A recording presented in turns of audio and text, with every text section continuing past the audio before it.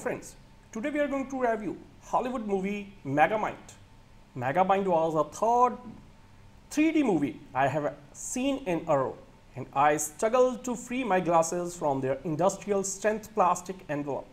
I wasn't precisely looking forward to it. Why do 3D glasses come so securely wrapped they seem like acts of hostility against the consumer? Once I freed my glasses and settled down, however, I was pleased to see a 3D image that was quite acceptable. Too dim as always, but the process was well used and proves again that animation is incomparably more suited for 3D than live action is. I had just keep been watching, rewatching Superman and felt right at home with the opening of Megamind, narrated by a bright blue alien over flashbacks to his infancy. Born on a distant planet, he is packed into a rocket ship and blasted off to Earth, just like the Man of Steel. En route, he meets his lifetime nemesis, a golden child who lands on Earth and in the lap of wealth. The blue child, alas, lands in a prison and is raised by hardened convicts.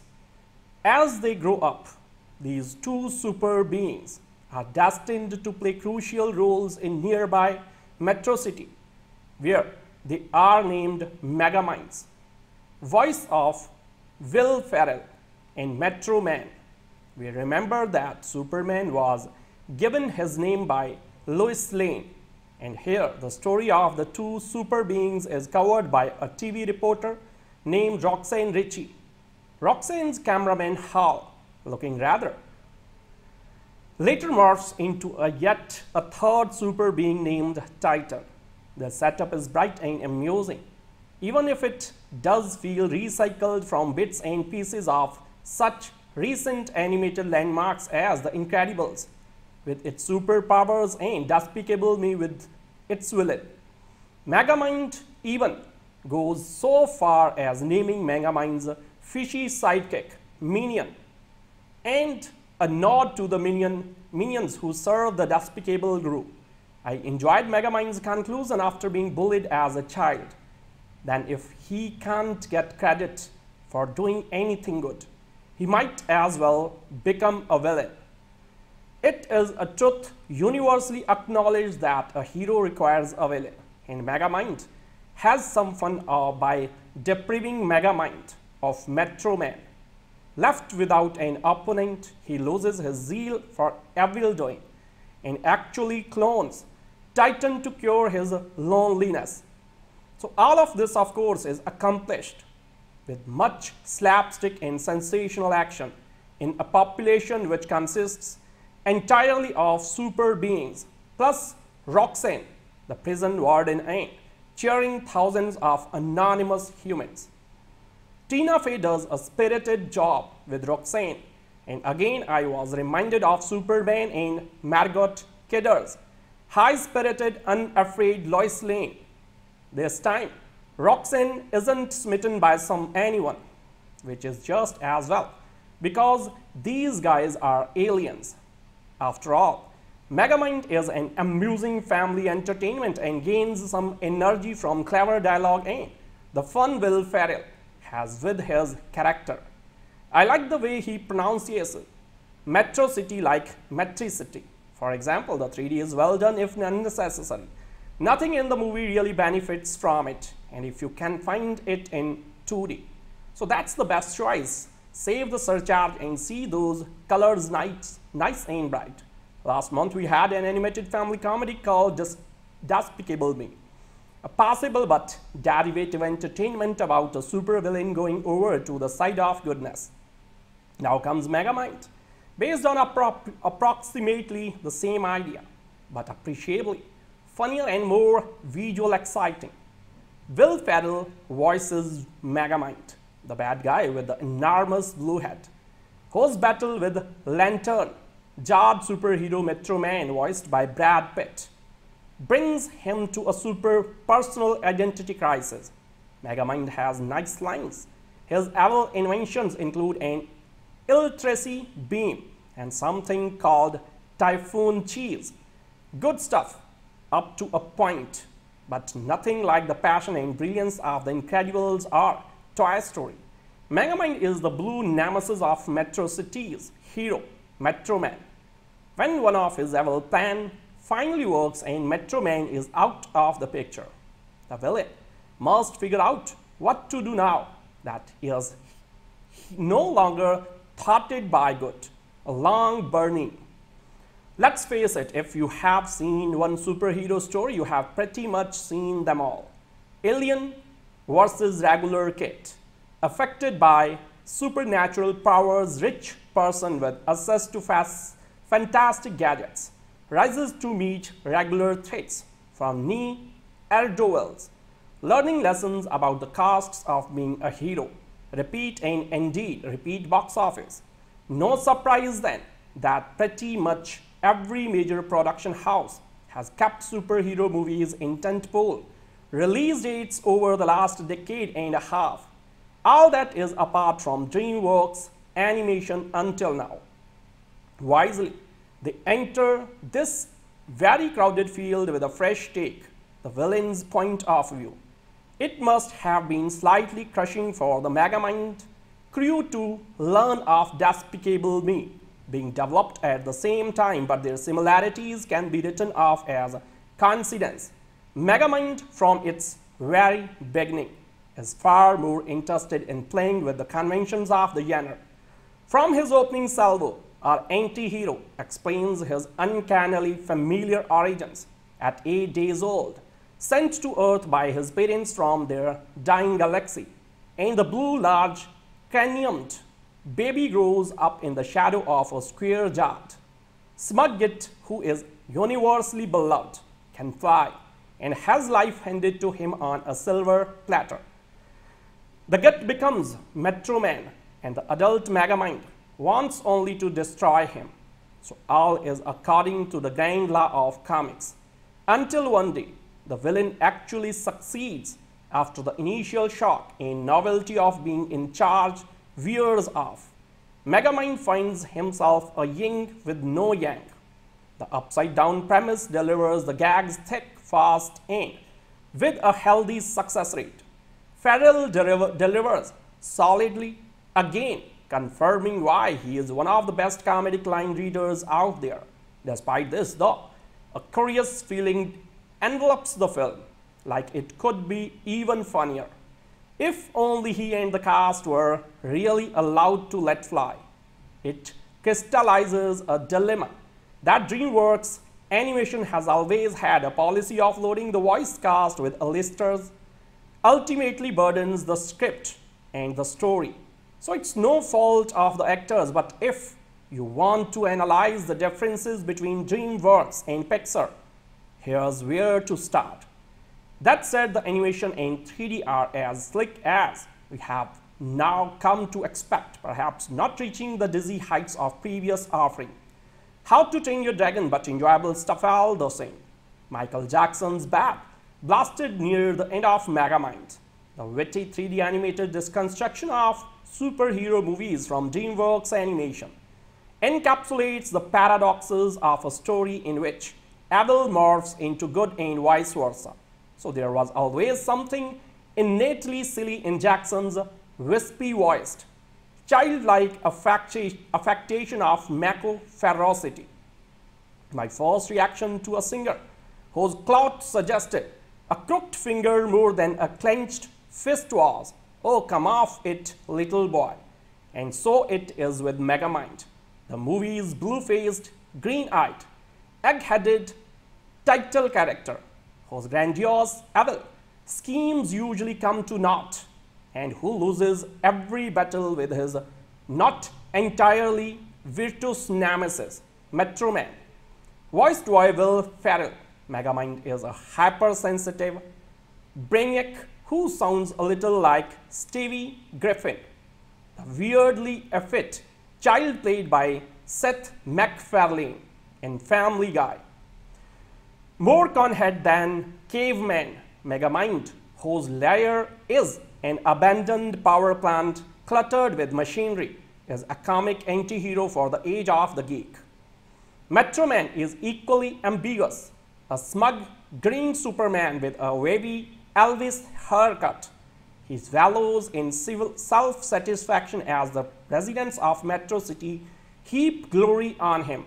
So his jaw is a little too prominent, his body a little too pumped, his attitude a little too cocky for him to be trusted as an unassailable moral paragon.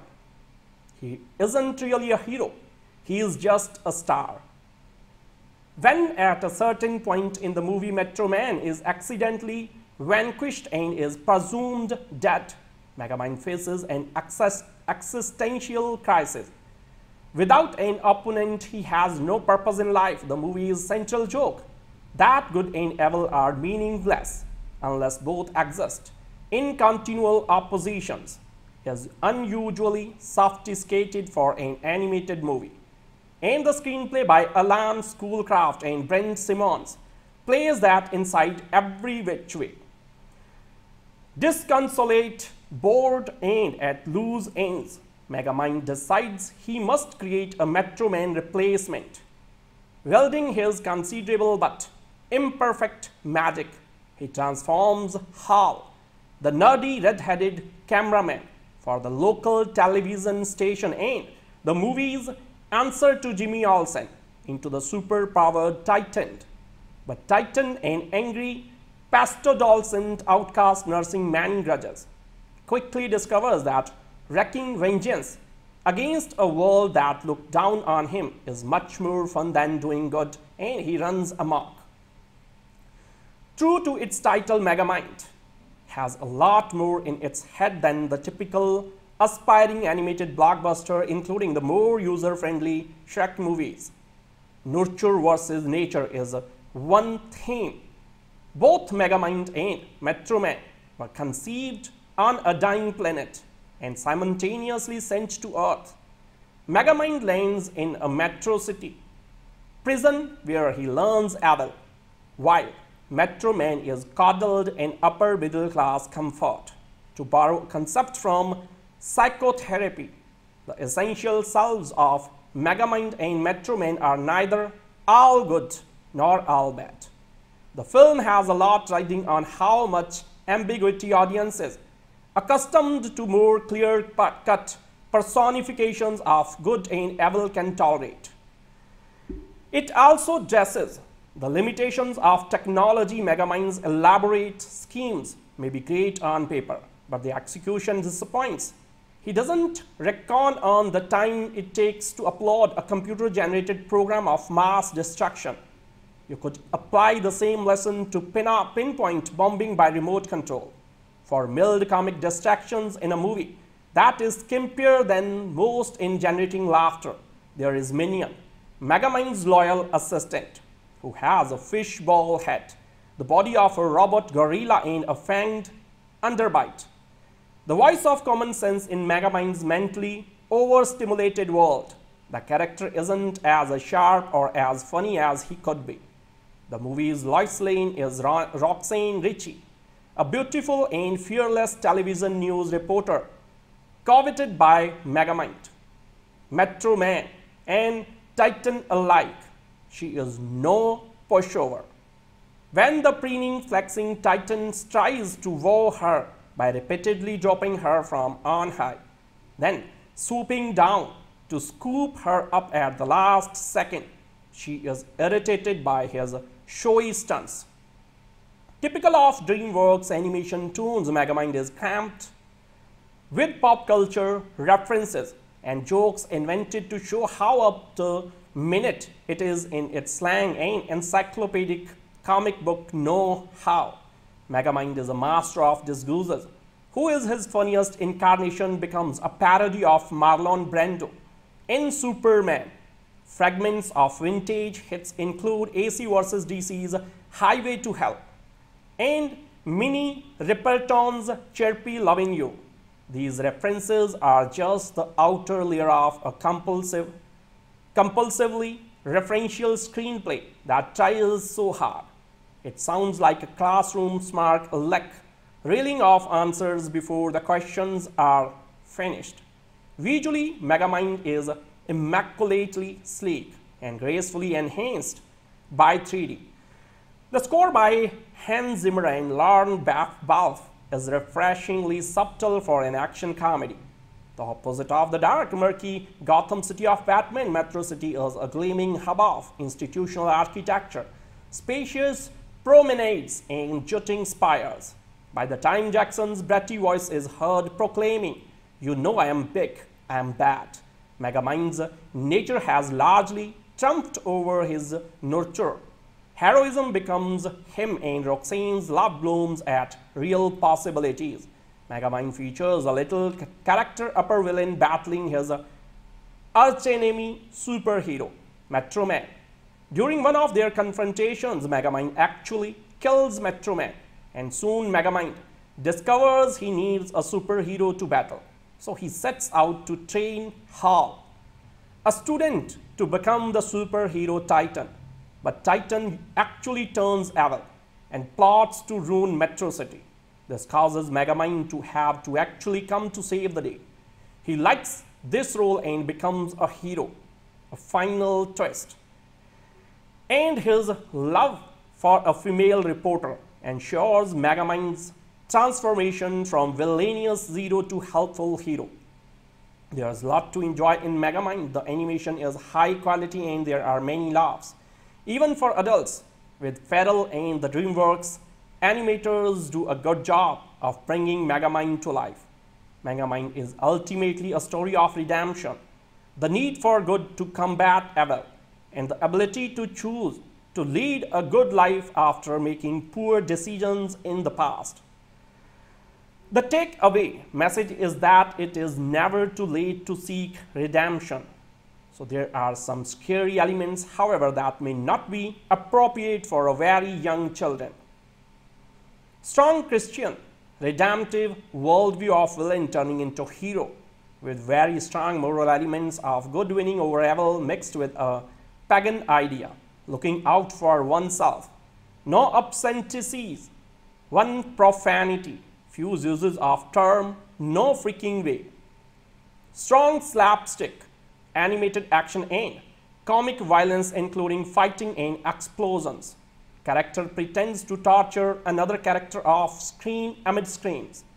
Hero character dies in explosion, leaving only his skeleton, wearing a cape though. Later we learn he isn't dead. Flirting and mild kissing between characters, but no salacious sex. No nudity, main female character is curvy but dressed modestly.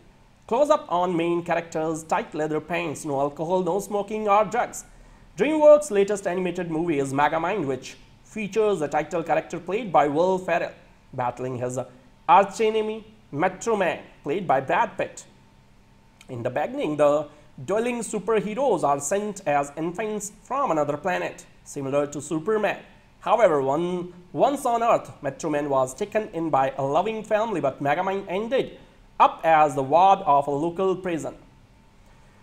The rivalry between Metro Man and Megamind develops throughout their childhood as they attend a local school together.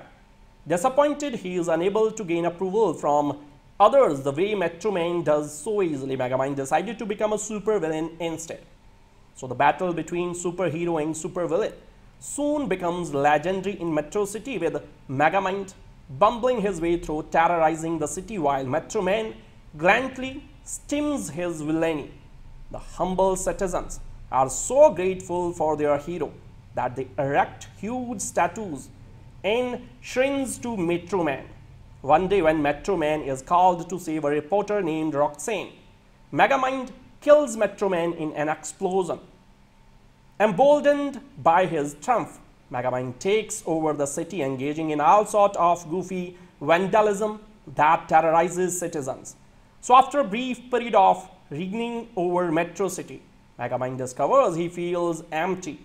Evil no longer seems fun without a nemesis or to thwart his plots. So he trains Hal, a student on how to be a superhero. However, Hal, now called Titan, actually turns evil. So it's up to Megamind to save the day. A final twist and his love for Roxy turns Megamind from villainous Zero to helpful Zero. Underpinning this good versus evil tale is also a love story between Megamind and Roxy. By changing his appearance to look like an average citizen, Megamind is able to spend time with Roxy without her realizing it's the villain she despises for destroying Metro Man. When she finally discovers the truth, Roxy is angry, but finds forgiveness for the villain turned hero after she, he saves their beloved Metro City. There's much to enjoy in Megamind. The animation is high quality and there are many laughs, even for adults in this comedy.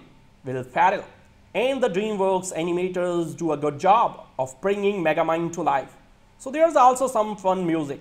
Megamind is ultimately a story of redemption, the need for good to combat evil, and the ability to choose to lead a good life after making poor decisions in the past.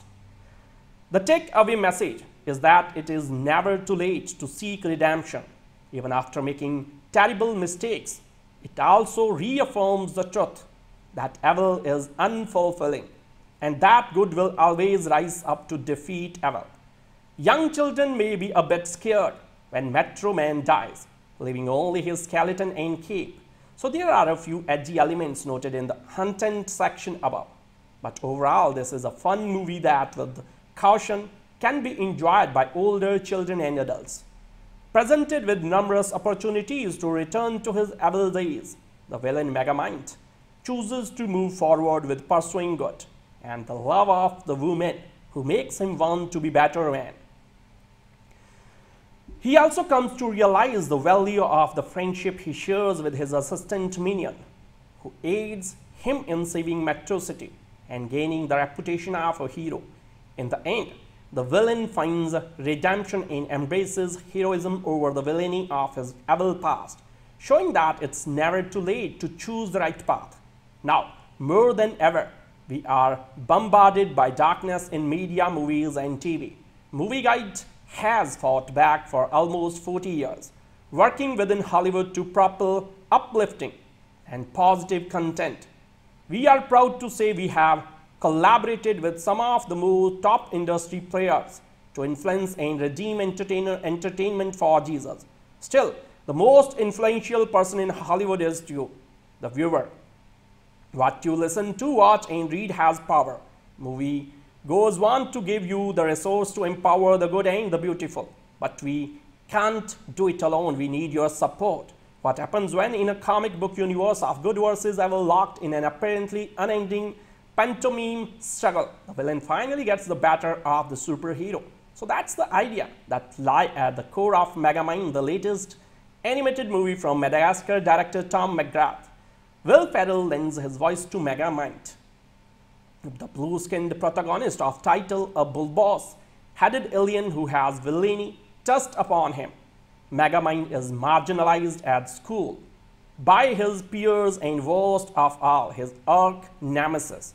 Metro Man, a boy who can do no wrong in the eyes of his friends and teachers. As a result, Megamind de dedicates his adult life to causing chaos in Metro City, constantly kidnapping television reporter Roxanne, only to have his wicked plans foiled by his square-jawed rival Metro Man. Telling a, man, telling a story from the perspective of an anti-hero may have already been attempted once this year in Despicable Me, but Megamind is, nevertheless, quite different, filled with references to comic books and movies. It's a keenly realized deconstruction of the black and white world of superhero stories. Superman is the most obvious reference point. Far from a ruthless monster, Megamind is merely misunderstood.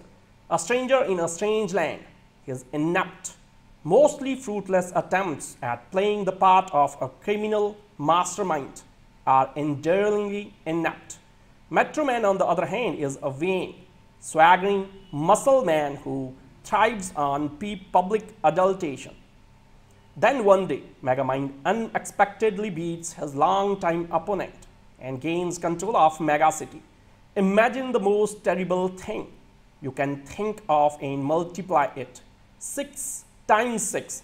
Megamind tell a terrified yet faintly be amused populace. Left without a hero to fight, Megamind quickly grows tired of heaping his lair with money and treasure and begins to look around for other things to do. First, striking up a relationship with Roxanne, while disguised as an unassuming white-collar worker, and later attempting to create a new superhero to fight with disastrous result. While Megamind's plot is cleverly constructed enough, albeit in a light, family-friendly kind of way, the movie's strongest aspect is its humor and welter of loving geek references. There are several scenes that gently patches Richard Donner's 1978 Superman movie, including a slapstick recreation of that film's romantic flight scene and a priceless Marlon, Brando impression from Will Ferrell. Eagle-eyed viewers will perhaps also note with a titter of recognition a fleeting reference to the conclusion of the 1980 Flash Gordon movie. Megamind's starry voice cast is uniformly excellent with Jonah Hill, providing the voice of Hal, a dorky camera technician who, who becomes a power-crazed monster, and Brad Pitt as the muscle-bound hero with a secret passion for music. Tina Fey gets less of a look in as Roxanne, however, and to have great, such a great comic actor wasted on a fairly state role is something of a waste. The film undoubtedly belongs to Ferrell, and while the role gives him plenty of opportunities to improvise and make loud noises, his performance is su surprisingly sustained, giving Megamind the character more nuance and pathos than you might otherwise expect. Megamind's use of 3D in a year filled with unimaginative uses of the process is also worthy of note and its subtle appearance early on make the film's late action sequence appear all the more spectacular. A city-leveling fight scene toward the conclusion is particularly well handled and looks uncannily like an Akira for the under 12 market.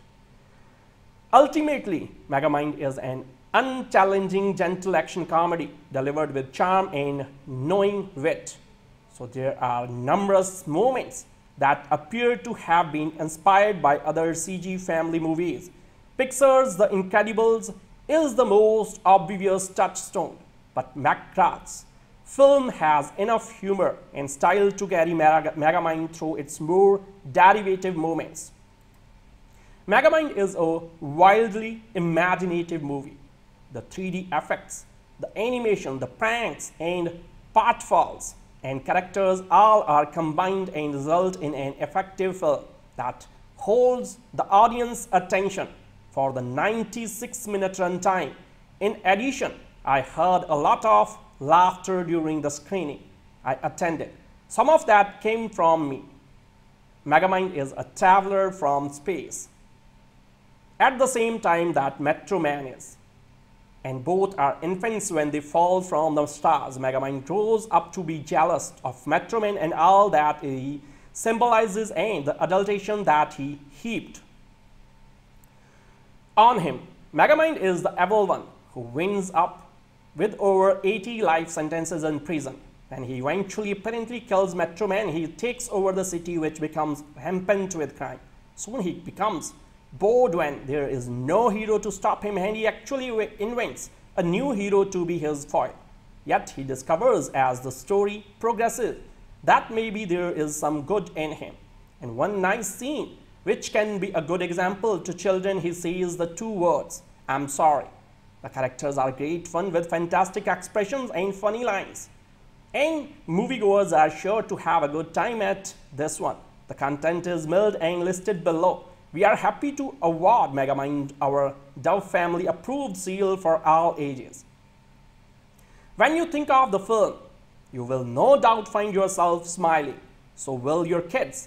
I will repeat what I heard one young teen say as he left the theater. I liked that movie. Megamind was a third 3D movie I have seen in a row and I struggled to free my glasses from their industrial strength plastic envelope. I wasn't precisely looking forward to it. Why do 3D glasses come so securely wrapped they seem like acts of hostility against the consumer? Once I freed my glasses and settled down, however, I was pleased to see a 3D image that was quite acceptable. Too dim as always, but the process was well used and proves again that animation is incomparably more suited for 3D than live action is. I had just keep been watching, rewatching Superman and felt right at home with the opening of Megamind, narrated by a bright blue alien over flashbacks to his infancy. Born on a distant planet, he is packed into a rocket ship and blasted off to Earth, just like the Man of Steel. En route, he meets his lifetime nemesis, a golden child who lands on earth and in the lap of wealth. The blue child, alas, lands in a prison and is raised by hardened convicts. As they grow up, these two super beings are destined to play crucial roles in nearby Metro City, where they are named Megaminds. Voice of Will Ferrell in Metro Man. We remember that Superman was given his name by Lois Lane. And here, the story of the two super beings is covered by a TV reporter named Roxanne Ritchie. Roxanne's cameraman Hal, looking rather, later morphs into a yet a third super being named Titan. The setup is bright and amusing, even if it does feel recycled from bits and pieces of such recent animated landmarks as The Incredibles, with its superpowers and Despicable Me with its villain. Megamind even goes so far as naming Megamind's fishy sidekick, Minion, and a nod to the minion, minions who serve the Despicable group. I enjoyed Megamind's conclusion after being bullied as a child. Then if he can't get credit for doing anything good, he might as well become a villain. It is a truth universally acknowledged that a hero requires a villain, and Megamind has some fun uh, by depriving Megamind of Metro Man. Left without an opponent, he loses his zeal for evil doing and actually clones Titan to cure his loneliness. So all of this, of course, is accomplished with much slapstick and sensational action in a population which consists entirely of super beings, plus Roxanne, the prison warden, and cheering thousands of anonymous humans. Tina Fey does a spirited job with Roxanne, and again I was reminded of Superman and Margot Kidder's high-spirited, unafraid Lois Lane. This time, Roxanne isn't smitten by some anyone, which is just as well, because these guys are aliens. After all, Megamind is an amusing family entertainment and gains some energy from clever dialogue and the fun Will Ferrell has with his character. I like the way he pronounces Metro City like Metricity. For example, the 3D is well done if unnecessary. Nothing in the movie really benefits from it and if you can find it in 2D. So that's the best choice. Save the surcharge and see those colors nice, nice and bright. Last month we had an animated family comedy called Despicable Me. A possible but derivative entertainment about a supervillain going over to the side of goodness. Now comes Megamind, based on appro approximately the same idea, but appreciably funnier and more visual exciting. Will Ferrell voices Megamind, the bad guy with the enormous blue head, whose battle with Lantern, jarred superhero Metro Man voiced by Brad Pitt, brings him to a super personal identity crisis. Megamind has nice lines. His evil inventions include an Iltracy beam and something called Typhoon cheese. Good stuff up to a point, but nothing like the passion and brilliance of The Incredibles or Toy Story. Megamind is the blue nemesis of Metro City's hero, Metro Man.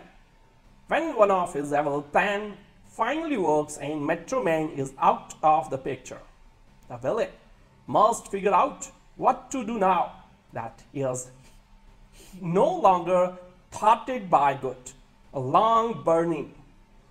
Let's face it, if you have seen one superhero story, you have pretty much seen them all. Alien versus regular kid, affected by supernatural powers, rich person with access to fast, fantastic gadgets, rises to meet regular threats from knee Erdovels, learning lessons about the costs of being a hero. Repeat and indeed repeat box office. No surprise then that pretty much every major production house has kept superhero movies in tentpole release dates over the last decade and a half. All that is apart from DreamWorks animation until now. Wisely, they enter this very crowded field with a fresh take, the villain's point of view. It must have been slightly crushing for the Megamind crew to learn of Despicable Me being developed at the same time, but their similarities can be written off as coincidence. Megamind from its very beginning is far more interested in playing with the conventions of the genre. From his opening salvo, our anti-hero explains his uncannily familiar origins at 8 days old, sent to Earth by his parents from their dying galaxy. And the blue large craniumed baby grows up in the shadow of a square jet. Smudget, who is universally beloved, can fly and has life handed to him on a silver platter. The gut becomes Metro Man, and the adult Megamind wants only to destroy him. So all is according to the grand law of comics. Until one day, the villain actually succeeds after the initial shock and novelty of being in charge wears off. Megamind finds himself a yin with no yang. The upside down premise delivers the gags thick, fast, and with a healthy success rate. Ferrell delivers solidly again, confirming why he is one of the best comedic line readers out there. Despite this, though, a curious feeling envelops the film, like it could be even funnier. If only he and the cast were really allowed to let fly. It crystallizes a dilemma that DreamWorks Animation has always had a policy of loading the voice cast with A-listers, ultimately burdens the script and the story. So it's no fault of the actors, but if you want to analyze the differences between DreamWorks and Pixar, here's where to start. That said, the animation and 3D are as slick as we have now come to expect, perhaps not reaching the dizzy heights of previous offering. How to Train Your Dragon but enjoyable stuff all the same. Michael Jackson's Bad blasted near the end of Megamind, the witty 3D animated disconstruction of superhero movies from DreamWorks Animation, encapsulates the paradoxes of a story in which evil morphs into good and vice versa. So there was always something innately silly in Jackson's wispy voiced childlike affectation of Mako ferocity. My first reaction to a singer whose cloth suggested a crooked finger more than a clenched fist was, oh come off it little boy. And so it is with Megamind. The movie's blue-faced, green-eyed, egg-headed title character, whose grandiose evil schemes usually come to naught, and who loses every battle with his not entirely virtuous nemesis, Metro Man. Voiced by Will Ferrell, Megamind is a hypersensitive brainiac who sounds a little like Stewie Griffin, a weirdly effete child played by Seth MacFarlane in Family Guy. More conhead than Caveman, Megamind, whose lair is an abandoned power plant cluttered with machinery, is a comic anti-hero for the age of the geek. Metro Man is equally ambiguous, a smug green Superman with a wavy Elvis haircut. His values in civil self-satisfaction as the residents of Metro City heap glory on him. So his jaw is a little too prominent, his body a little too pumped, his attitude a little too cocky for him to be trusted as an unassailable moral paragon. He isn't really a hero, he is just a star. When at a certain point in the movie Metro Man is accidentally vanquished and is presumed dead, Megamind faces an existential crisis. Without an opponent, he has no purpose in life. The movie's central joke that good and evil are meaningless unless both exist in continual oppositions is unusually sophisticated for an animated movie. And the screenplay by Alan Schoolcraft and Brent Simons plays that inside every which way. Disconsolate, bored, and at loose ends, Megamind decides he must create a Metro Man replacement.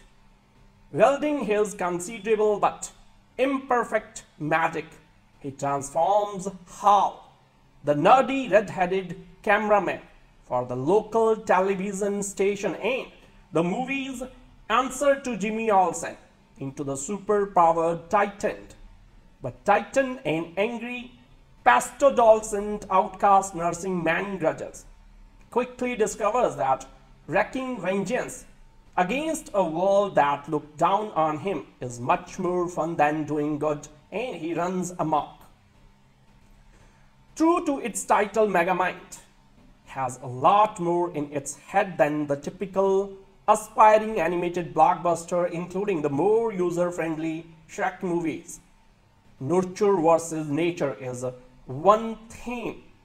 Both Megamind and Metro Man were conceived on a dying planet and simultaneously sent to Earth. Megamind lands in a metro city prison where he learns Abel, while Metro Man is coddled in upper middle class comfort. To borrow concept from psychotherapy, the essential selves of Megamind and Metro Man are neither all good nor all bad. The film has a lot riding on how much ambiguity audiences, accustomed to more clear-cut personifications of good and evil can tolerate. It also addresses the limitations of technology Megamind's elaborate schemes may be great on paper, but the execution disappoints. He doesn't reckon on the time it takes to upload a computer-generated program of mass destruction. You could apply the same lesson to pin pinpoint bombing by remote control. For mild comic distractions in a movie that is skimpier than most in generating laughter, there is Minion, Megamind's loyal assistant, who has a fishbowl head, the body of a robot gorilla in a fanged underbite. The voice of common sense in Megamind's mentally overstimulated world. The character isn't as sharp or as funny as he could be.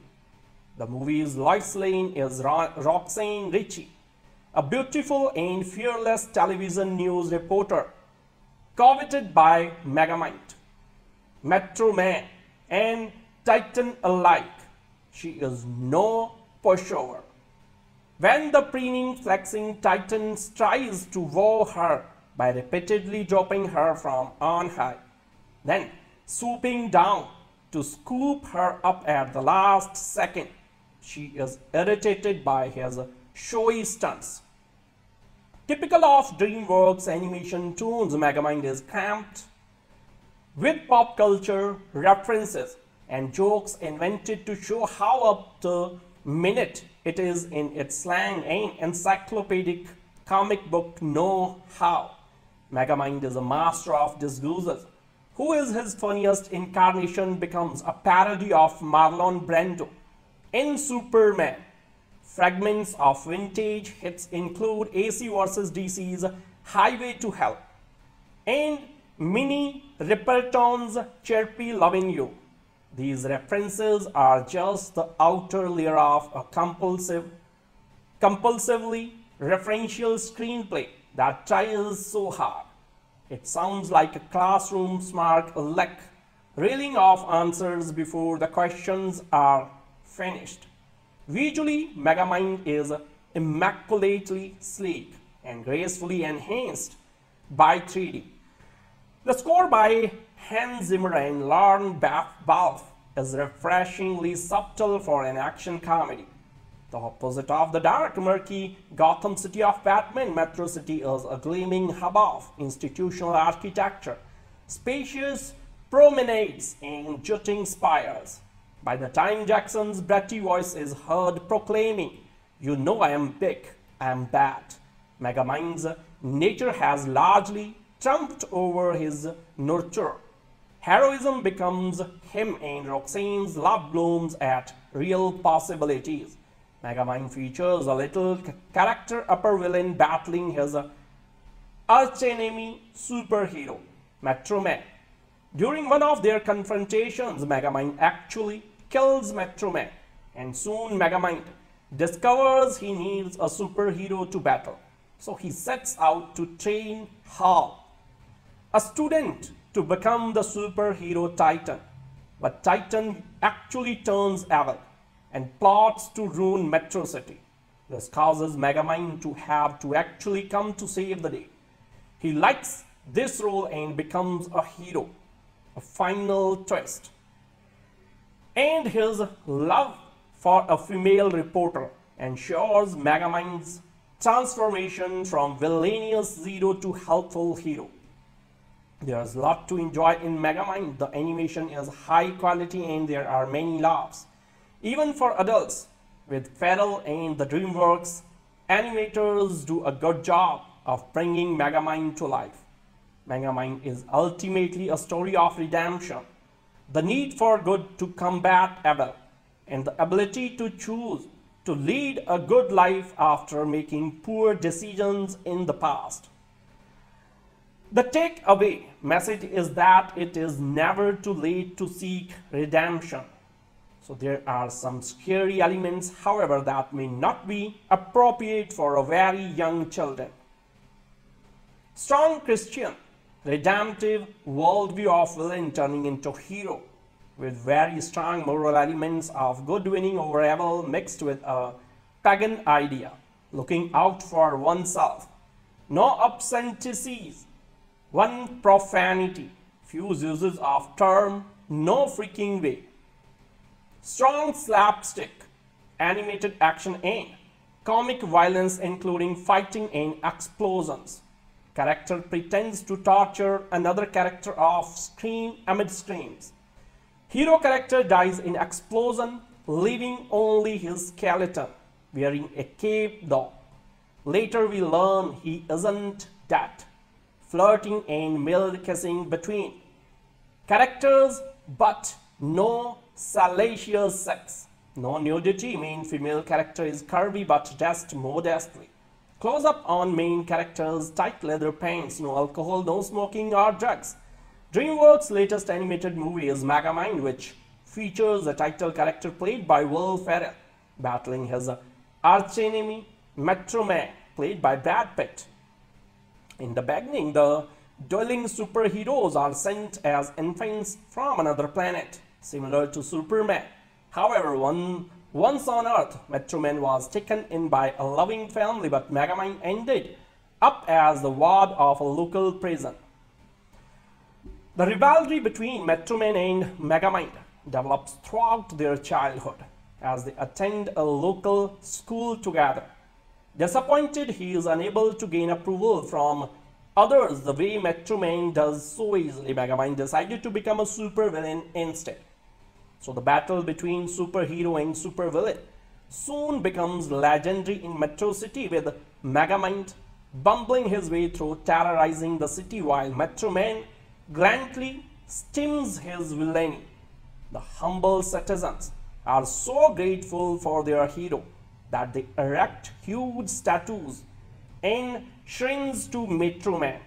One day when Metro Man is called to save a reporter named Roxanne, Megamind kills Metro Man in an explosion. Emboldened by his triumph, Megamind takes over the city engaging in all sort of goofy vandalism that terrorizes citizens. So after a brief period of reigning over Metro City, Megamind discovers he feels empty. Evil no longer seems fun without a nemesis or to thwart his plots. So he trains Hal, a student on how to be a superhero. However, Hal, now called Titan, actually turns evil. So it's up to Megamind to save the day. A final twist and his love uh, for Roxy turns Megamind from villainous Zero to helpful Zero. Underpinning this good versus evil tale is also a love story between Megamind and Roxy by changing his appearance to look like an average citizen. Megamind is able to spend time with Roxy without her realizing it's the villain she despises for destroying Metro Man. When she finally discovers the truth, Roxy is angry, but finds forgiveness for the villain turned hero after she, he she saves their beloved Metro City. There is much to enjoy in Megamind. The animation is high quality and there are many laughs, even for adults in this comedy. Will Ferrell and the DreamWorks animators do a good job of bringing Megamind to life. So there's also some fun music. Megamind is ultimately a story of redemption, the need for good to combat evil, and the ability to choose to lead a good life after making poor decisions in the past. The takeaway message is that it is never too late to seek redemption, even after making terrible mistakes it also reaffirms the truth that evil is unfulfilling and that good will always rise up to defeat evil. Young children may be a bit scared when Metro Man dies, leaving only his skeleton and cape. So there are a few edgy elements noted in the content section above. But overall, this is a fun movie that with caution can be enjoyed by older children and adults. Presented with numerous opportunities to return to his evil days, the villain Megamind chooses to move forward with pursuing good and the love of the woman who makes him want to be better man. He also comes to realize the value of the friendship he shares with his assistant minion, who aids him in saving Metro City and gaining the reputation of a hero. In the end, the villain finds redemption and embraces heroism over the villainy of his evil past, showing that it's never too late to choose the right path. Now, more than ever, we are bombarded by darkness in media, movies, and TV. Movieguide has fought back for almost 40 years, working within Hollywood to propel uplifting and positive content. We are proud to say we have collaborated with some of the more top industry players to influence and redeem entertainment for Jesus. Still, the most influential person in Hollywood is you, the viewer. What you listen to, watch, and read has power. Movie goes want to give you the resource to empower the good and the beautiful. But we can't do it alone. We need your support. What happens when in a comic book universe of good versus evil locked in an apparently unending pantomime struggle. The villain finally gets the better of the superhero. So that's the idea that lie at the core of Megamind, the latest animated movie from Madagascar director Tom McGrath. Will Ferrell lends his voice to Megamind. The blue-skinned protagonist of title A Bull Boss, headed alien who has villainy just upon him. Megamind is marginalized at school by his peers and worst of all, his arch nemesis. Metroman, a boy who can do no wrong in the eyes of his friends and teachers. As a result, Megamind de dedicates his adult life to causing chaos in Metro City, constantly kidnapping television reporter Roxanne, only to have his wicked plans foiled by his square-jawed rival Metro Man telling a man, telling a story from the perspective of an anti-hero may have already been attempted once this year in Despicable Me, but Megamind is, nevertheless, quite different, filled with references to comic books and movies. It's a keenly realized deconstruction of the black and white world of superhero stories Superman is the most obvious reference point. Far from a ruthless monster, Megamind is merely misunderstood. A stranger in a strange land is inept, mostly fruitless attempts at playing the part of a criminal mastermind are endearingly inept. Metro Man, on the other hand, is a vain, swaggering muscle man who thrives on public adulation. Then one day, Megamind unexpectedly beats his longtime opponent and gains control of Mega City. Imagine the most terrible thing you can think of and multiply it. 6 times 6. Megamind tell a terrified yet faintly be-amused populace. Left without a hero to fight, Megamind quickly grows tired of heaping his lair with money and treasure and begins to look around for other things to do. First, striking up a relationship with Roxanne, while disguised as an unassuming white-collar worker, and later attempting to create a new superhero to fight with disastrous result. While Megamind's plot is cleverly constructed enough, albeit in a light, family-friendly kind of way, the movie's strongest aspect is. Its humor and welter of loving geek references. There are several scenes that gently patch Richard Donner's 1978 Superman movie, including a slapstick recreation of that film's romantic flight scene and a priceless Marlon Brando impression from Will Ferrell. Eagle-eyed viewers will perhaps also note with a title of recognition, a fleeting reference to the conclusion of the 1980 Flash Gordon movie. Megamind's starry voice cast is uniformly excellent with Jonah Hill, providing the voice of Hal, a darky camera technician who, becomes a power-crazed monster, and Brad Pitt as the muscle-bound hero with a secret passion for music. Tina Fey gets less of a look in as Roxanne, however, and to have great, such a great comic actor wasted on a fairly state role is something of a waste. The film undoubtedly belongs to Ferrell, and while the role gives him plenty of opportunities to improvise and make loud noises, his performance is su surprisingly sustained, giving Megamind the character more nuance and pathos than you might otherwise expect. Megamind's use of 3D in a year filled with unimaginative uses of the process is also worthy of note and its subtle appearance early on make the film's late action sequence appear all the more spectacular. A city-leveling fight scene toward the conclusion is particularly well handled and looks uncannily like an Akira for the under 12 market. Ultimately, Megamind is an unchallenging gentle action comedy delivered with charm and knowing wit.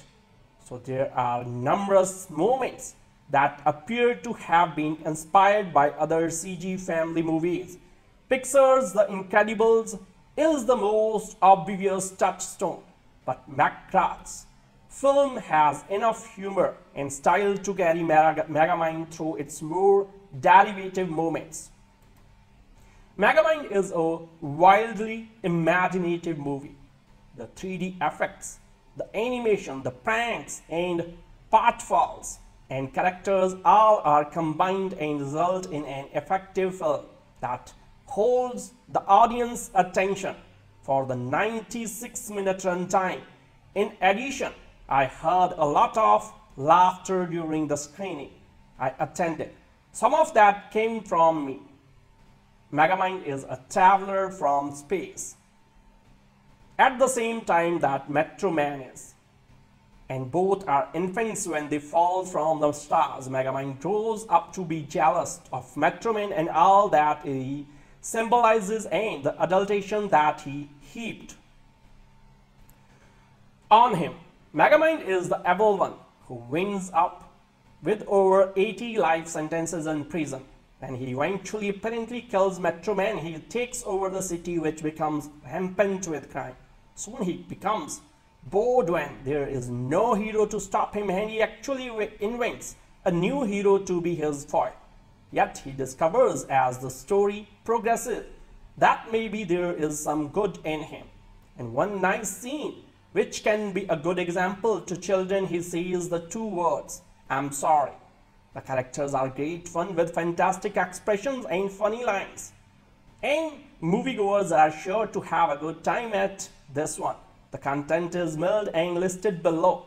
We are happy to award Megamind our Dove Family approved seal for all ages. When you think of the film, you will no doubt find yourself smiling. So will your kids. I will repeat what I heard one young teen say as he left the theater. I liked that movie. Megamind was a third 3D movie I have seen in a row and I struggled to free my glasses from their industrial strength plastic envelope. I wasn't precisely looking forward to it. Why do 3D glasses come so securely wrapped they seem like acts of hostility against the consumer? Once I freed my glasses and settled down, however, I was pleased to see a 3D image that was quite acceptable. Too dim as always, but the process was well used and proves again that animation is incomparably more suited for 3D than live action is.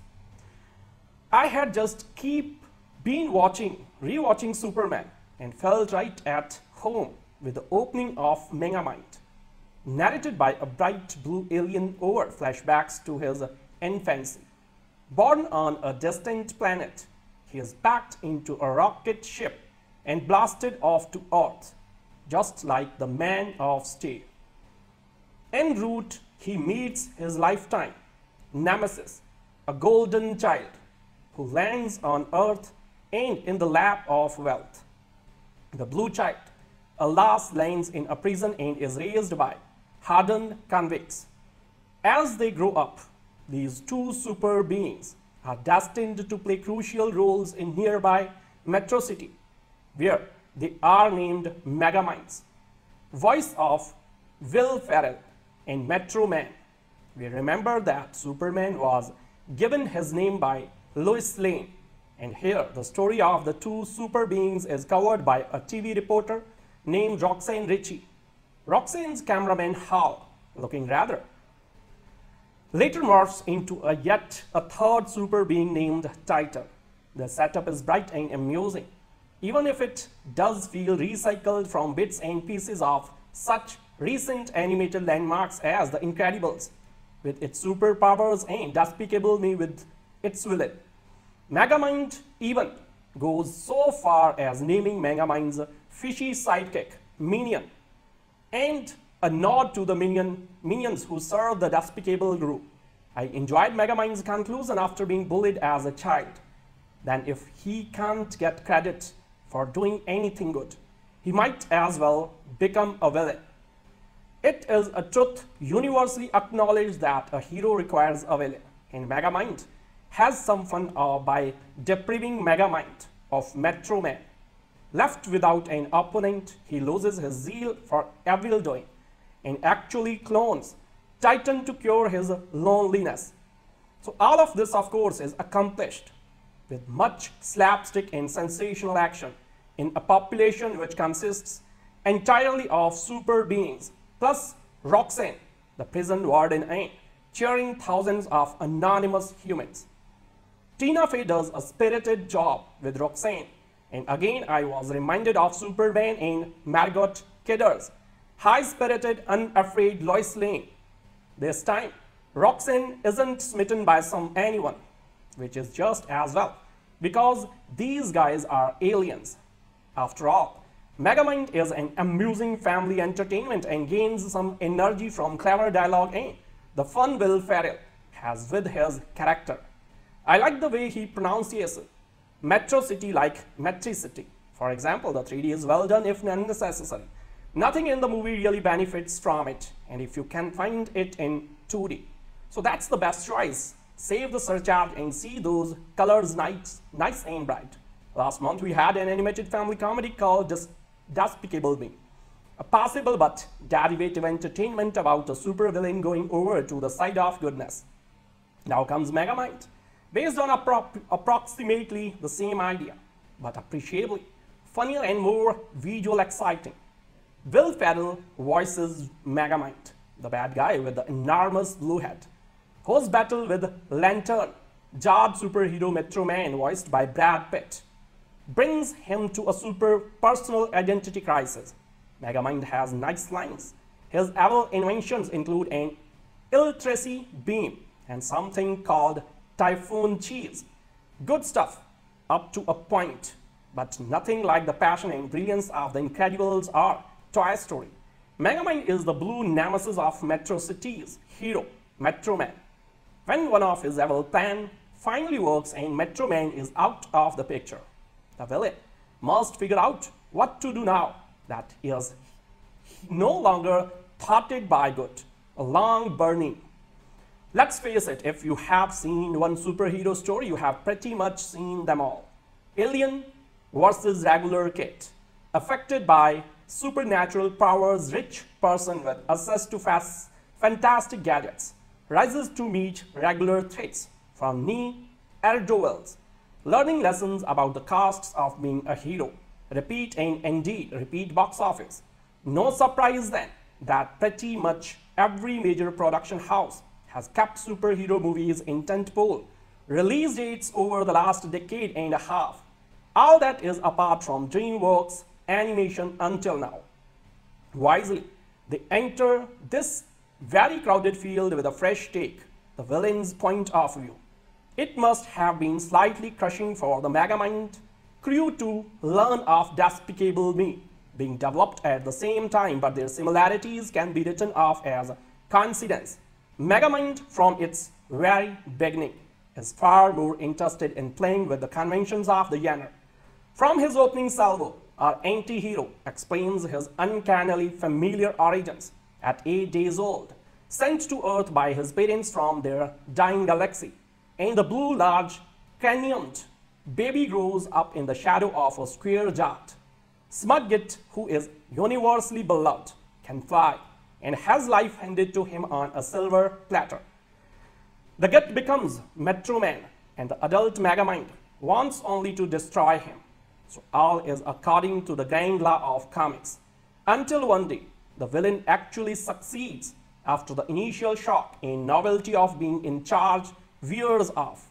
Megamind finds himself a yin with no yang. The upside down premise delivers the gags thick, fast, and with a healthy success rate. Ferrell delivers solidly, again confirming why he is one of the best comedic line readers out there. Despite this, though, a curious feeling envelops the film, like it could be even funnier. If only he and the cast were really allowed to let fly. It crystallizes a dilemma that DreamWorks Animation has always had a policy of loading the voice cast with A-listers, ultimately burdens the script and the story. So it's no fault of the actors, but if you want to analyze the differences between DreamWorks and Pixar, here's where to start. That said, the animation in 3D are as slick as we have now come to expect, perhaps not reaching the dizzy heights of previous offering. How to Train Your Dragon, but enjoyable stuff all the same. Michael Jackson's Bad, blasted near the end of Megamind. The witty 3D animated disconstruction of superhero movies from DreamWorks Animation encapsulates the paradoxes of a story in which evil morphs into good and vice versa. So there was always something innately silly in Jackson's wispy-voiced, childlike affectation of Mako ferocity. My first reaction to a singer whose clout suggested a crooked finger more than a clenched fist was, oh come off it little boy. And so it is with Megamind. The movie's blue-faced, green-eyed, egg-headed title character whose grandiose evil schemes usually come to naught and who loses every battle with his not entirely virtuous nemesis, Metro Man. Voiced by Will Ferrell, Megamind is a hypersensitive brainiac who sounds a little like Stewie Griffin, a weirdly effete child played by Seth MacFarlane in Family Guy. More Conehead than Caveman, Megamind, whose lair is an abandoned power plant cluttered with machinery, is a comic anti-hero for the age of the geek. Metro Man is equally ambiguous, a smug green Superman with a wavy Elvis haircut. His values in self-satisfaction as the residents of Metro City heap glory on him. So his jaw is a little too prominent, his body a little too pumped, his attitude a little too cocky for him to be trusted as an unassailable moral paragon. He isn't really a hero. He is just a star. When at a certain point in the movie Metro Man is accidentally vanquished and is presumed dead, Megamind faces an existential crisis. Without an opponent, he has no purpose in life. The movie's central joke that good and evil are meaningless unless both exist in continual oppositions is unusually sophisticated for an animated movie. And the screenplay by Alan Schoolcraft and Brent Simons plays that inside every which way. Disconsolate, bored, and at loose ends, Megamind decides he must create a Metro Man replacement. Wielding his considerable but imperfect magic, he transforms Hal, the nerdy red-headed cameraman for the local television station and the movie's answer to Jimmy Olsen into the super-powered Titan. But Titan and angry pastodolescent outcast nursing man grudges quickly discovers that wreaking vengeance against a world that looked down on him is much more fun than doing good and he runs amok. True to its title Megamind, has a lot more in its head than the typical aspiring animated blockbuster including the more user-friendly Shrek movies. Nurture versus nature is one theme. Both Megamind and Metro Man were conceived on a dying planet and simultaneously sent to Earth. Megamind lands in a metro city, prison where he learns Adel, while Metro Man is coddled in upper middle class comfort. To borrow concept from psychotherapy, the essential selves of Megamind and Metro Man are neither all good nor all bad. The film has a lot riding on how much ambiguity audiences, accustomed to more clear-cut personifications of good and evil can tolerate. It also addresses the limitations of technology Megamind's elaborate schemes may be great on paper, but the execution disappoints. He doesn't reckon on the time it takes to upload a computer-generated program of mass destruction. You could apply the same lesson to pin pinpoint bombing by remote control. For mild comic distractions in a movie that is skimpier than most in generating laughter, there is Minion, Megamind's loyal assistant, who has a fishbowl head, the body of a robot gorilla in a fanged underbite. The voice of common sense in Megamind's mentally overstimulated world, The character isn't as sharp or as funny as he could be. The movie's Lois Lane is Ro- Roxanne Ritchie, a beautiful and fearless television news reporter, coveted by Megamind, Metro Man, and Titan alike. She is no pushover. When the preening, flexing Titan tries to wow her by repeatedly dropping her from on high, then swooping down to scoop her up at the last second, she is irritated by his showy stunts. Typical of DreamWorks animation toons, Megamind is cramped with pop culture references and jokes invented to show how up to minute it is in its slang and encyclopedic comic book know-how. Megamind is a master of disguises. Who is his funniest incarnation becomes a parody of Marlon Brando in Superman. Fragments of vintage hits include AC/DC's Highway to Hell and Minnie Riperton's Chirpy Loving You. These references are just the outer layer of a compulsive, compulsively referential screenplay that tries so hard. It sounds like a classroom smart aleck, reeling off answers before the questions are finished. Visually, Megamind is immaculately sleek and gracefully enhanced by 3D. The score by Hans Zimmer and Lorne Balfe is refreshingly subtle for an action comedy. The opposite of the dark, murky Gotham City of Batman, Metro City is a gleaming hub of institutional architecture, spacious promenades and jutting spires. By the time Jackson's bratty voice is heard proclaiming, You know I am big, I am bad, Megamind's nature has largely trumped over his nurture. Heroism becomes him and Roxanne's love blooms at real possibilities. Megamind features a little character upper villain battling his archenemy superhero, Metro Man. During one of their confrontations, Megamind actually kills Metro Man, and soon Megamind discovers he needs a superhero to battle. So he sets out to train Hal, a student, to become the superhero Titan. But Titan actually turns evil and plots to ruin Metro City. This causes Megamind to have to actually come to save the day. He likes this role and becomes a hero, a final twist. And his love for a female reporter ensures Megamind's transformation from villainous zero to helpful hero. There's a lot to enjoy in Megamind. The animation is high quality and there are many laughs. Even for adults, with Ferrell and the DreamWorks, animators do a good job of bringing Megamind to life. Megamind is ultimately a story of redemption, the need for good to combat evil, and the ability to choose to lead a good life after making poor decisions in the past. The takeaway message is that it is never too late to seek redemption. So there are some scary elements, however, that may not be appropriate for a very young children. Strong Christian, redemptive worldview of villain turning into hero, with very strong moral elements of good winning over evil mixed with a pagan idea, looking out for oneself. No obscenities, one profanity, few uses of term, no freaking way. Strong slapstick, animated action and comic violence including fighting and explosions.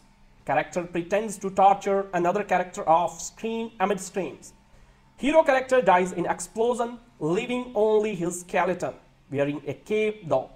Later we learn he isn't dead.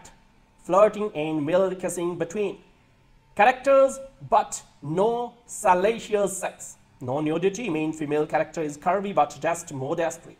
Close up on main characters, tight leather pants, no alcohol, no smoking or drugs.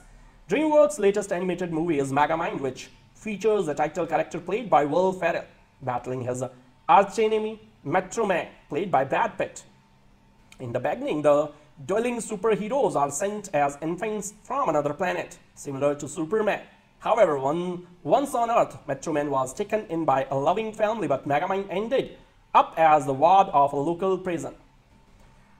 The rivalry between Metro Man and Megamind develops throughout their childhood as they attend a local school together. Disappointed he is unable to gain approval from others the way Metro Man does so easily, Megamind decided to become a supervillain instead. So the battle between superhero and supervillain soon becomes legendary in Metro City with Megamind bumbling his way through terrorizing the city while Metro Man grandly stims his villainy. The humble citizens are so grateful for their hero that they erect huge statues and shrines to Metro Man. One day when Metro Man is called to save a reporter named Roxanne, Megamind kills Metro Man in an explosion. Emboldened by his triumph, Megamind takes over the city engaging in all sort of goofy vandalism that terrorizes citizens. So after a brief period of reigning over Metro City, Megamind discovers he feels empty. Abel no longer seems fun without a nemesis or to thwart his plots. So he trains Hal, a student, on how to be a superhero. However, Hal, now called Titan, actually turns evil. So it's up to Megamind to save the day. A final twist and his love uh, for Roxy turns Megamind from villainous Zero to helpful Zero. Underpinning this good versus evil tale is also a love story between Megamind and Roxy. By changing his appearance to look like an average citizen, Megamind is able to spend time with Roxy without her realizing it's the villain she despises for destroying Metro Man. When she finally discovers the truth, Roxy is angry, but finds forgiveness for the villain turned hero after she, he she saves their beloved Metro City. There's much to enjoy in Megamind. The animation is high quality and there are many laughs, even for adults in this comedy. Will Ferrell and the DreamWorks animators do a good job of bringing Megamind to life. So there's also some fun music. Megamind is ultimately a story of redemption, the need for good to combat evil, and the ability to choose to lead a good life after making poor decisions in the past. The takeaway message is that it is never too late to seek redemption, even after making terrible mistakes. It also reaffirms the truth that evil is unfulfilling and that good will always rise up to defeat evil. Young children may be a bit scared when Metro Man dies, leaving only his skeleton and cape. So there are a few edgy elements noted in the content section above. But overall, this is a fun movie that with caution can be enjoyed by older children and adults. Presented with numerous opportunities to return to his evil days, the villain Megamind chooses to move forward with pursuing good and the love of the woman who makes him want to be better man. He also comes to realize the value of the friendship he shares with his assistant Minion, who aids him in saving Metro City and gaining the reputation of a hero. In the end, the villain finds redemption and embraces heroism over the villainy of his evil past, showing that it's never too late to choose the right path. Now, more than ever, we are bombarded by darkness in media, movies, and TV. Movieguide has fought back for almost 40 years, working within Hollywood to propel uplifting and positive content. We are proud to say we have collaborated with some of the most top industry players to influence and redeem entertainer entertainment for Jesus. Still, the most influential person in Hollywood is you, the viewer. What you listen to, watch, and read has power. Movie goes on to give you the resource to empower the good and the beautiful. But we can't do it alone. We need your support. What happens when in a comic book universe of good versus evil locked in an apparently unending pantomime struggle, the villain finally gets the better of the superhero. So that's the idea that lie at the core of Megamind, the latest animated movie from Madagascar director Tom McGrath. Will Ferrell lends his voice to Megamind, the blue-skinned protagonist of title A Bull Boss, headed alien who has villainy just upon him. Megamind is marginalized at school by his peers and worst of all, his arch nemesis. Metro Man, a boy who can do no wrong in the eyes of his friends and teachers. As a result, Megamind de dedicates his adult life to causing chaos in Metro City, constantly kidnapping television reporter Roxanne, only to have his wicked plans foiled by his square-jawed rival Metro Man. Telling a, man, telling a story from the perspective of an anti-hero may have already been attempted once this year in Despicable Me, but Megamind is, nevertheless, quite different, filled with references to comic books and movies. It's a keenly realized deconstruction of the black and white world of superhero stories. Superman is the most obvious reference point. Far from a ruthless monster, Megamind is merely misunderstood. A stranger in a strange land, his inept, mostly fruitless attempts at playing the part of a criminal mastermind are endearingly inept. Metro Man, on the other hand, is a vain, swaggering muscle man who thrives on public adulation.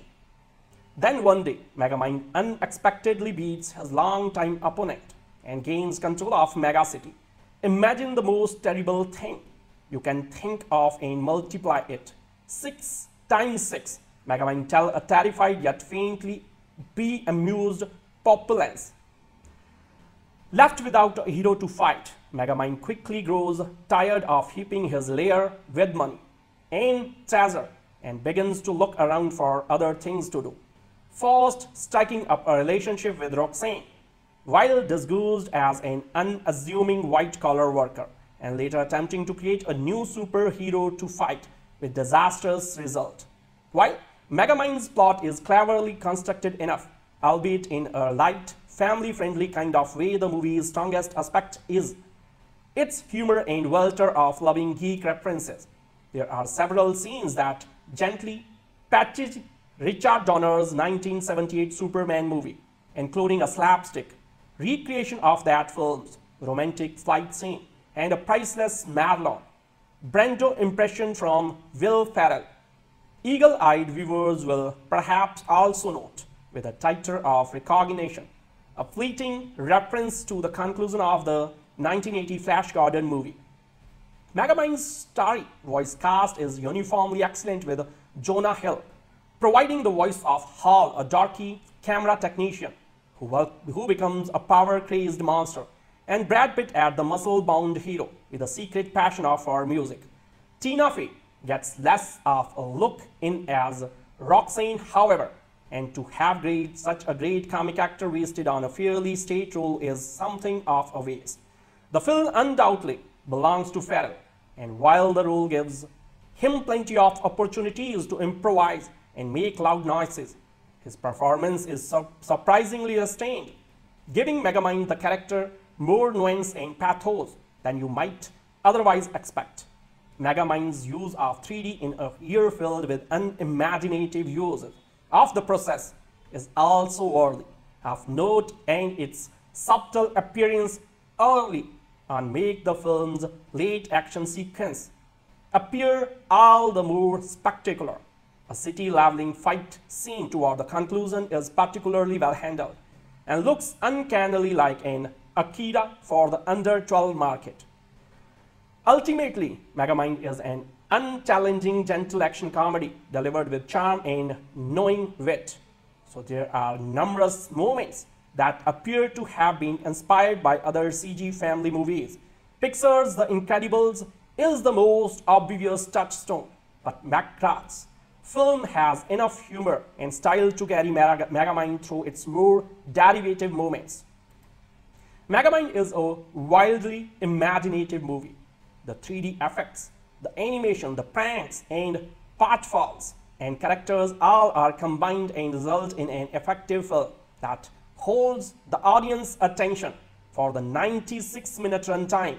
In addition, I heard a lot of laughter during the screening I attended. Some of that came from me. Megamind is a traveler from space. At the same time that Metro Man is. And both are infants when they fall from the stars. Megamind grows up to be jealous of Metro Man and all that he symbolizes and the adulation that he heaped on him. Megamind is the evil one who wins up with over 80 life sentences in prison. And he eventually apparently kills Metro Man. He takes over the city which becomes rampant with crime. Soon he becomes bored when there is no hero to stop him and he actually invents a new hero to be his foil. Yet he discovers as the story progresses that maybe there is some good in him. In one nice scene, which can be a good example to children, he says the two words, I'm sorry.